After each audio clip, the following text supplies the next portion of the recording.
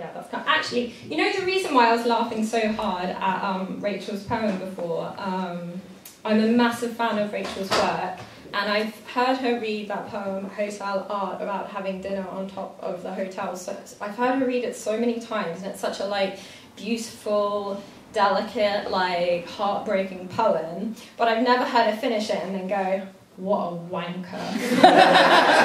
and it made me think, like, how poems that women write like how many of them are essentially just page long versions of what a wanker none of mine obviously. No. This actually is technically about me being a wanker. Anyway, i'm just going to read the poem. Red. Today i stepped on a heart the heel of my shoe punctured the taut muscle I couldn't down the gurgling blood.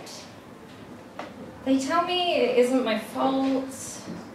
People shouldn't leave their hearts out in the open like that. They should know that girls like me are focused on our destinations and can't pay attention to our feet.